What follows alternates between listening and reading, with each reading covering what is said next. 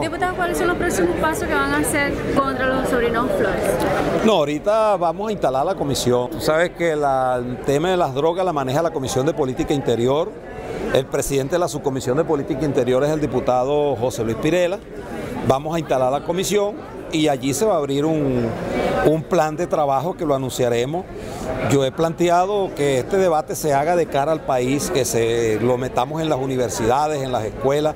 Este es un problema de la familia, hasta dónde ha llegado. Aquí hay estados que allí no se nombraron porque nos centramos en el caso de los sobrinos de Cilia Flores, pero el, el Delta, eh, Amazonas, Sucre, por el lado de La Guajira. Aquí hay un, una macolla grande en Venezuela organizada del tema del narcotráfico. Cuando tú estás hablando, cuando la ONU dice que por Venezuela transita casi el 40%, entre 300 y 400 toneladas de, de, cocaína al año, eso no es ninguna tontería, es decir, el 40% de la droga que se consume en el mundo.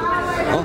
Entonces, bueno, es importante, muy importante, eh, bueno, que se haga un debate y que, y que además han sido señalados generales retirados que hoy son gobernadores, han sido, aquí tenemos unos diputados, el Pollo Carvajal, y bueno, y ellos van hacia adelante como que no está pasando nada, como que en el país no ha ocurrido nada. La manera que nosotros creemos que este tema que es tan ultra delicado y además sensible, porque nuestro país no puede sucumbir en cosas como la que pasaron en los tiempos de Pablo Escobar Gaviria en Colombia, ni lo que hoy ocurre en México. Acuérdense recientemente que un alcalde financiado por el narcotráfico llegó a, desaparecer una cantidad de estudiantes que al día de hoy todavía no saben dónde están, cómo los desaparecieron. Lo que ocurre con los carteles allí en, ese, en ese país. Así que nosotros creemos que es muy importante el trabajo de esta comisión.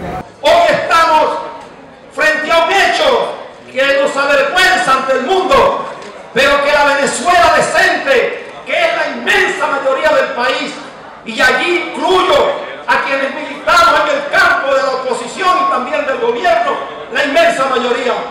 No queremos que cosas como esas ocurran en Venezuela. Bueno, mi opinión es que bien bueno que se debata.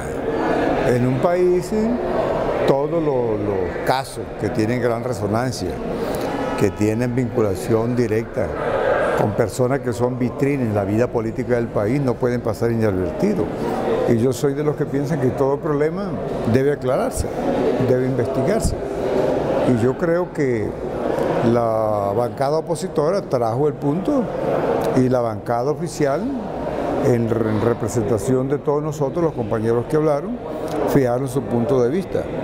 Ahora, esto es un hecho que estamos acostumbrados a verlo en el país. Siempre es lamentable que unos jóvenes sean señalados como tal, independientemente que al final de las investigaciones resulten ser culpables o no.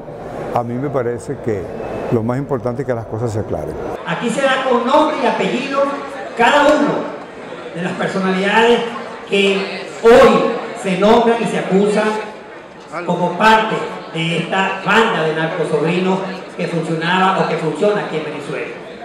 Y lamentablemente cada vez que yo iba a la Fiscalía General pedía si a esto le habían designado fiscal, hasta el portero le temblaba las piernas porque no sabía dónde estaba el documento que se había llevado. Y cada vez me contestaban, eso está en la oficina de la Fiscal General de la República, hay que esperar que ella le designe un fiscal. Hasta esta fecha no le habían designado fiscal.